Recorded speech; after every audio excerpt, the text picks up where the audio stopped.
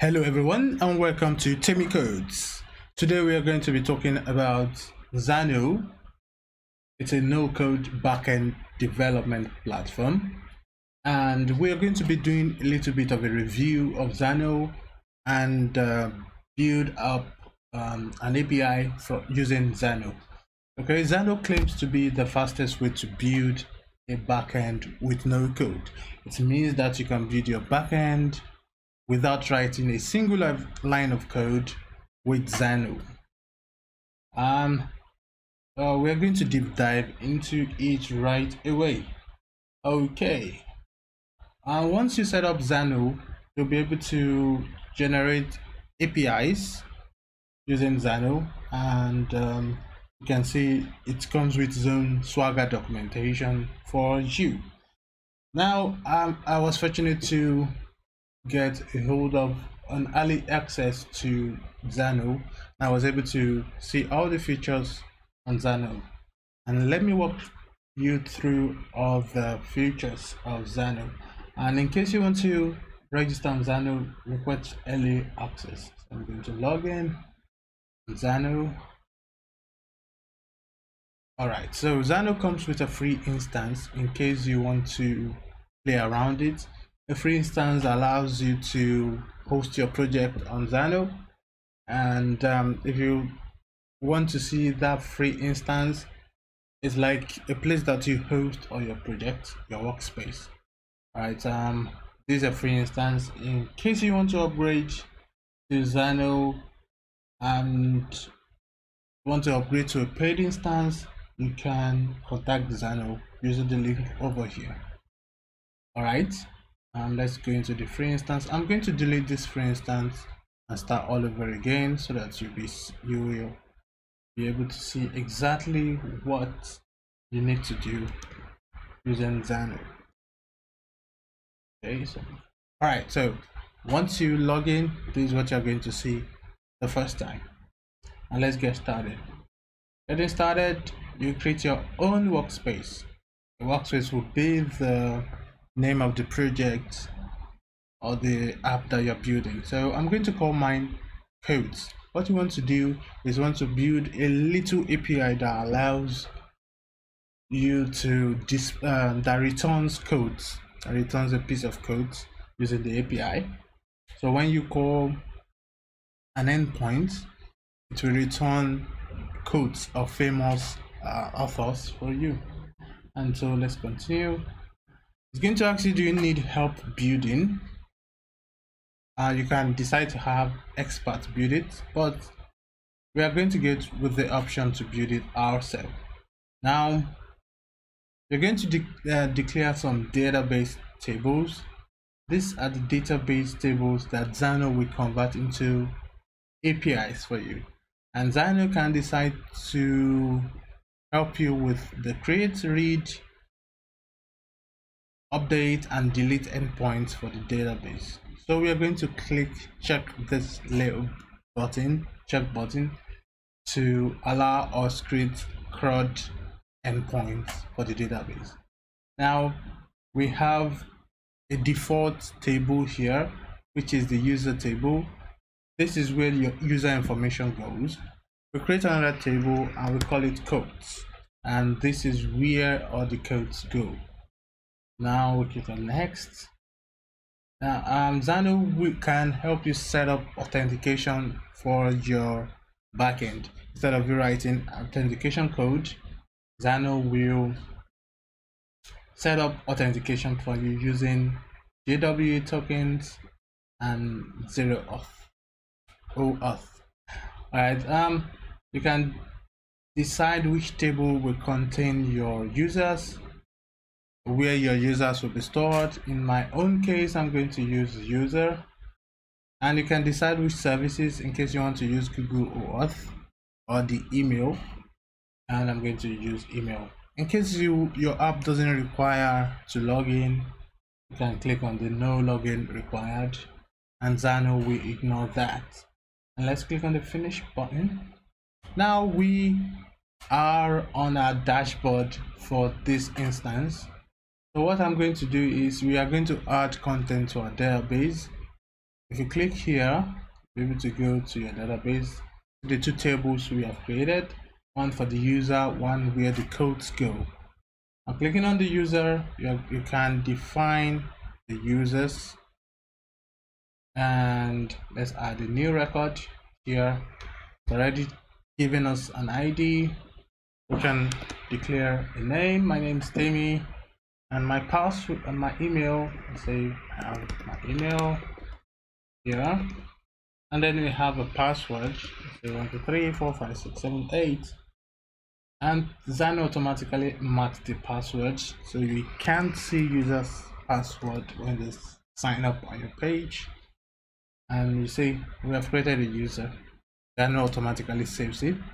And you can go back. Let's open it again. You see that user is there. Now let's go to the code table. Now code has id and created at. You can add more rules add more columns to this and um, clicking on the plus will show you which type of field. Now for the because we are building a code app that allows you to display the code and the author the code so um, let's add a field called uh, with text and we are going to call it a quote. This is where the code goes. Then we can is it required? Yes. In case you are saving to this database and you want to make it required? So set it to yes and we are saving that. We add another field. This time it is text and we call it author is the author of the code and we're gonna save this. Yes. Now we can add a new record.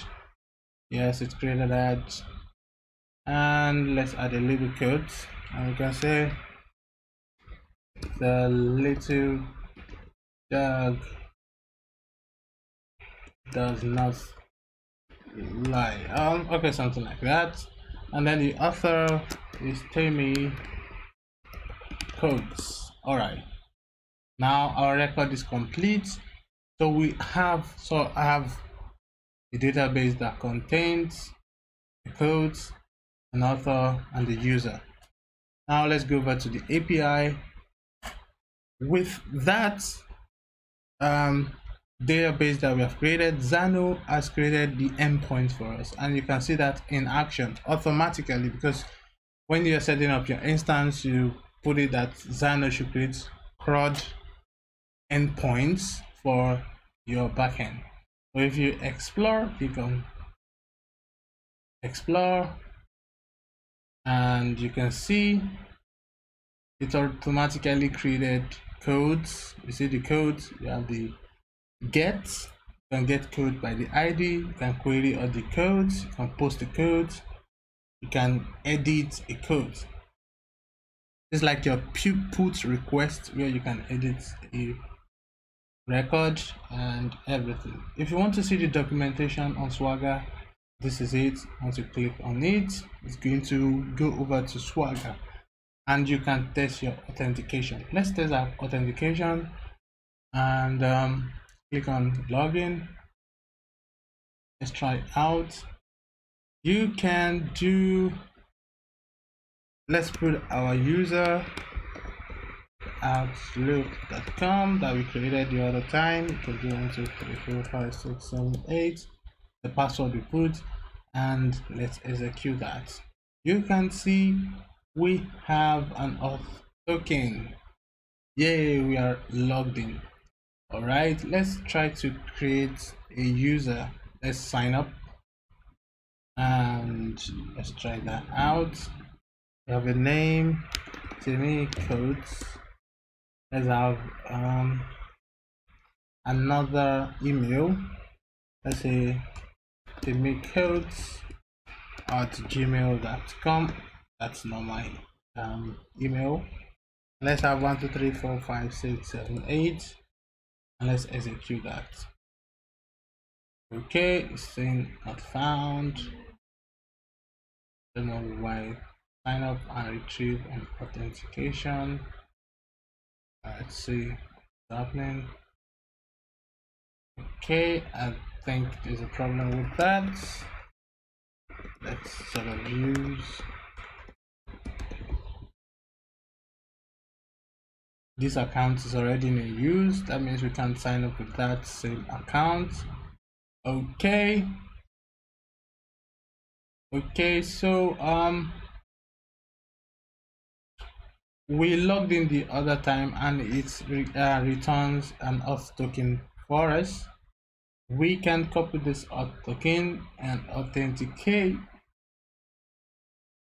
the authenticate the swagger and once we authorize if we execute this it's going to return some details about us.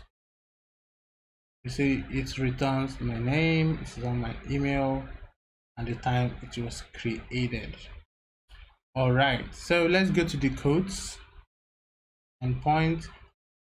Get we query all codes re records and when we try it out you see it returns uh, the codes the little dog does not lie that we created the other time. And let's sort of post a new code and then we have let's have a code and says our friends are awesome. And there's the author the humble self my humble self codes and then we execute that. Our friends are awesome. It has posts we have a 200 response. And when you do a get to query or post and execute that we have two records. All right. So that is it about Xano Xano automatically creates this for us which is very powerful okay? In case you want to go over to the library in case you want to add a function to your to you want your backend to do some certain function other than CRUD create read update and delete operations that you have you can write a function and um, give it a name and description and you can play around with that and then you have add-ons so let's say you want to extend response from your APIs.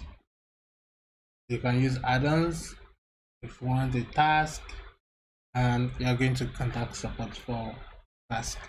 And that is if you want to have a background um, process that is running on the server. And then there's a marketplace. Yes, you can add Twilio, you can add SendGrid, and um, there's going to be a lot of extensions on this marketplace. All right so that is it about that with Xano um so in case you want to do your proof of concepts to clients you want to create simple apps you want to um, you are a mobile developer and you want to have an API to play around with. Xano is a good tool for that and you can use it very reliable. I've tested it out and it's quite good. All right. There are other thousands of tools. A lot of tools out there that you can also use. Xano is just one of them. Anyone that you use and you're comfortable with it's perfectly fine. If you really enjoyed this video please subscribe like and turn up the post notification so that you see my future videos. Thank you. Bye